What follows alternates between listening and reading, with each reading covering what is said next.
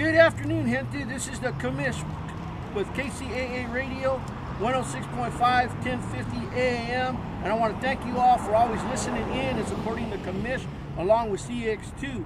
But today, we're out here in the city of Riverside visiting with Law's Restaurant, where the Inland Empire Corvettes Car Club, along with Classic Auto Restoration, will be hosting a Toys for Toddlers event on Saturday, March 5th.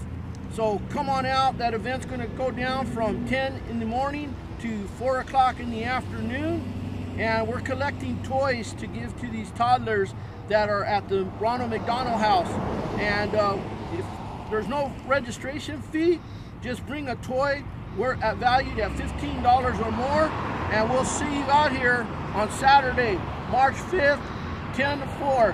Come on out. All vehicles are welcome. Lowriders, classic, Corvettes, rat rods.